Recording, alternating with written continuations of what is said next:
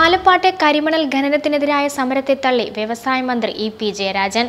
ആലപ്പാട് സമരം ചെയ്യുന്നവർ മലപ്പുറത്തുള്ളവരെന്ന് ജയരാജൻ പറഞ്ഞു. ആലപ്പാടിനെ തകർത്തത് ഖനനമല്ല സുനാമിയാണെന്നും വ്യവസായ മന്ത്രി പറഞ്ഞു. ആലപ്പാട് ഖനനം നിയമപരമെന്നും നിർത്തിവെക്കില്ലെന്നും വ്യവസായ മന്ത്രി ഇ പി ജയരാജൻ പറഞ്ഞു.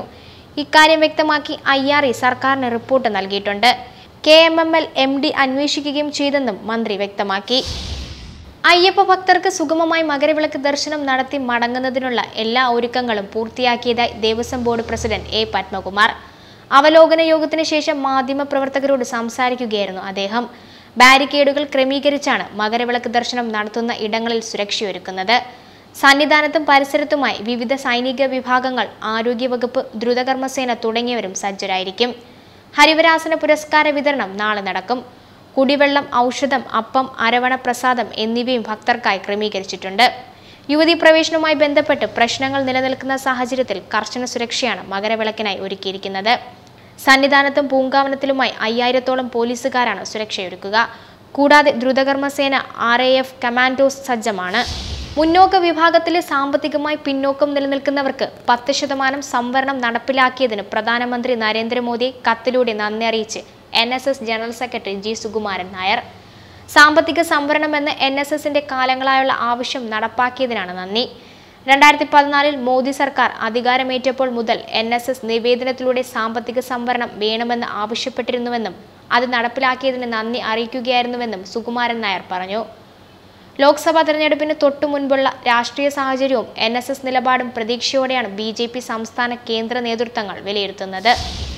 എസ് പിയും ബി എസ് പിയും കോൺഗ്രസിന് പിന്തള്ളി സഖ്യം പ്രഖ്യാപിച്ചതിന് പിന്നാലെ ഉത്തർപ്രദേശിലെ എൺപത് സീറ്റുകളിലും തനിച്ചു മത്സരിക്കാൻ കോൺഗ്രസിന്റെ തീരുമാനം.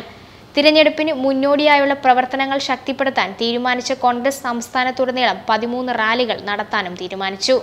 ഫെബ്രുവരി മുതൽ നടക്കുന്ന റാലികളിൽ എല്ലായിടത്തും കോൺഗ്രസ് അധ്യക്ഷൻ രാഹുൽ ഗാന്ധി പങ്കെടുക്കും.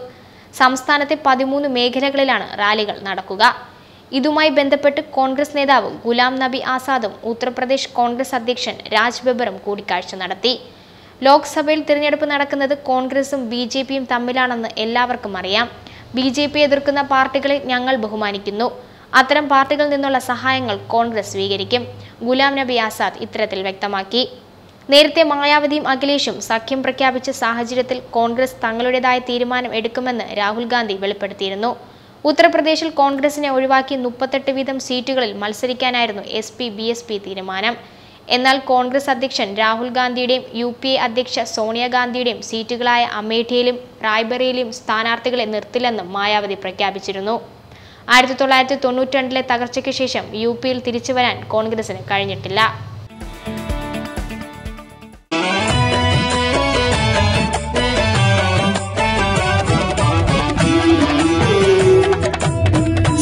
ചരിത്രത്തിന്റെ നൂറ്റിയൊന്ന് വർഷങ്ങൾ.